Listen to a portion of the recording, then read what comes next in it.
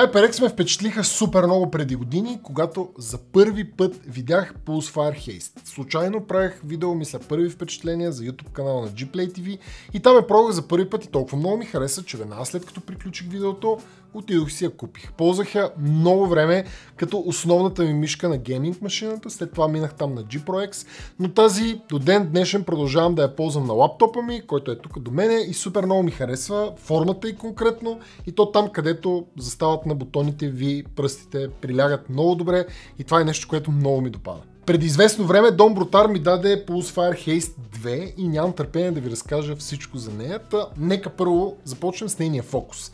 По-лека е от предната, а дори не е на дупки. Всъщност има дупки, но са само отдолу и са покрити с стикер, с по-як сензоре, поддържат до 26 000 DPI, а, свичовете издържат до 100 милиона клика натискания, има 8000 Hz polling rate, което означава, че комуникира с компютъра ви на всеки 0,1 милисекунди. Стандартните най-бързи мишки го правят с 1 милисекунда или 8 пъти по-бавно. Колко точно е скандално това, какви са плюсовете и минусите, както и всичко, което трябва да знаете, ще разберете в следващите минути в моето ревю на HyperX Pulsefire Haste 2. Дизайна на Pulsefire Haste 2 е същия като на предшественика. Във формата няма абсолютно никаква разлика, единствено това, което вече ви казах, са липсата на дупки. Но е и по-лека с няколко грама от предшественика си. Имаме черен матиран завършък навсякъде, като само страничните бутони и бутона над скрола са гланцирани, всичко друго е матирано. Имаме 6 програмируеми бутона и 5 кръчета. Мишката, лично според мен, е за хора, които предпочитат м- средни към по-големи мишки. Бих казал, че е супер здрава, въпреки че е много лека, има RGB подсветка на скрола и 1,8 метров плетен кабел тип Paracord. Хайде сега да преминем към техническата част. Имаме HyperX свичове за основните два бутона, които имат около 100 милиона клика живот. Имаме HyperX 26K сензор, който е най-вероятно Pixar 3395 или е той или е някакъв леко пипнат от HyperX, което ще рече изключително висококачествена оптика. Това с 8000 Hz polling rate, между другото, при бежичния модел е само 1000.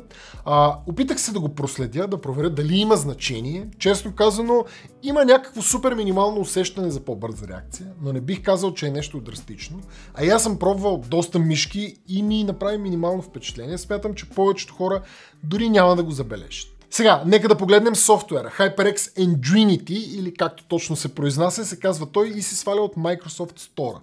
В първото подразделение виждаме различните видове подсветки, които можем да сложим на скрола. Имаме различни ефекти и цветове. Втората графа е относно бутоните, като основните два бутона можете да им размените само местата софтуерно, но не можете да ги адресирате към някакъв друг тип действие, докато другите 4 бутона можете да ги програмирате напълно както искате.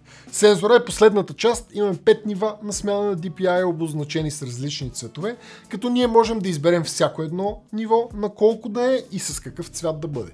Не на последно място, горе в дясно имаме сила на яркостта на подсветката, опцията за полинг рейта и това колко високо си вдигате мишката, като я движите и различни профили, разбира се, които можете да ползвате. Като освен вече съществуващите профили, можете да си добавите и нови. Друго нещо, което можете да си добавите е абонамент към моят YouTube канал. Напълно безплатно е, отнема по-малко от секунда, а помага наистина супер много на това, което правя.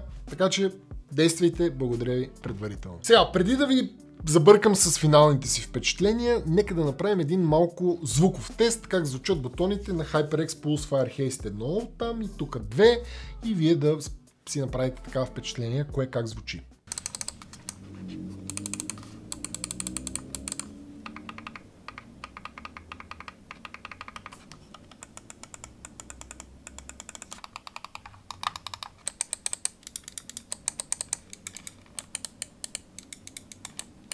Сега, уважаеми зрители, нека да ви споделя моите финални впечатления относно HyperX Pulse Fire Haste 2. Генерално мишката е наистина много добра. Аз, както ви казах, си взех първата и супер много ми хареса, а тази е по-добра във всяко едно отношение, запазва формата, която на мене ми допадна също супер много.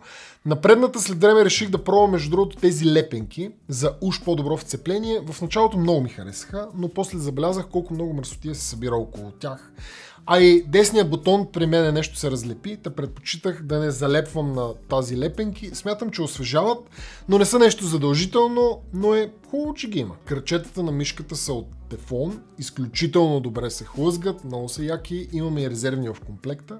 Изобщо Мишока е топ от всякъде. Имаме много добра форма, зверска оптика и тежестта и размерите са много добри и самата мишка е много здрава. HyperX определено са си свършили много добре работата, но поне според мен има един минус.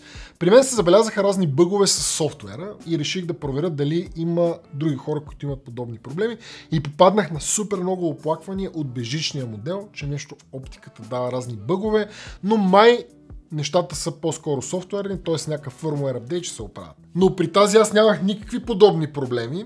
Това, което имах като проблем с софтуера се оправи, а, но вярвам, че HyperX са направили наистина много добър мишок.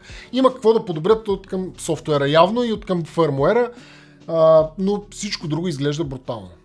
Предполагам, че с няколко апдейта всичко ще се дойде на място, тъй като мишока наистина е зверски. Ако на вас ви е харесало и ви се е сторило интересно, ще има линк в описанието на видеото, който води към GPlayBG, където към момента на записване на видеото можете да намерите HyperX Pulsefire Haze 2 на цена от 139 лева, като има и черен, има и бял вариант. Имайте и в предвид, че като цяло HyperX доста често правят намаления, но дори да няма такива, вие можете да намалите цената с още 5% с промокод NOTANKS2023, като освен, че получавате намаление, подкрепяте и мен за което ви благодаря изключително много. Това, уважаеми зрители, беше моето ревю на HyperX Pulsefire Haze 2. Ако имате някакви въпроси относно Мишока, насочете се отдолу към коментарите на видеото. Ако то ви е харесало, натиснете по един лайк или разбира се дизлайк, ако не ви е харесал. Чао, чао от мен и до следващото ревю на следващата лудница.